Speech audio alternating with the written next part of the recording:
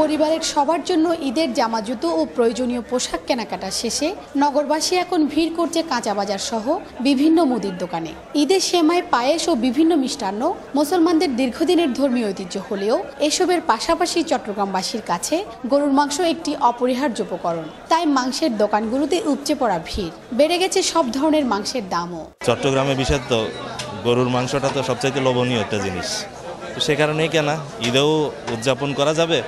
সব কদর উদযাপন করা যাবে খাসির মাংস দিয়ে করি গরুর মাংস দিয়ে করি। তারপর টিকা করে বিভিন্ন আইটেম করি আর কি। পেঁচা কিনা এখন ভালো হইতেছে। আর অনেক ঈদের টাইমতে একটু করে দাম বাড়তি।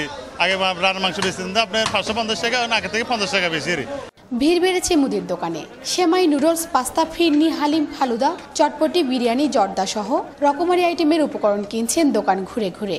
সেমাই কিনছি ফালুদা কিনছি পাস্তা নুডলস চিনি ময়দা ঘি।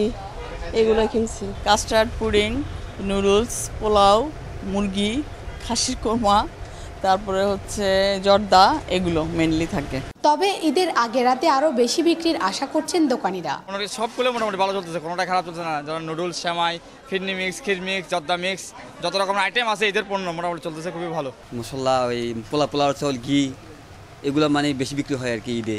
আমার মনে হয় চান্দাতে আসলে আর একটু বেশি হবে। শিউলি শবনম একুশে টেলিভিশন চট্টগ্রাম।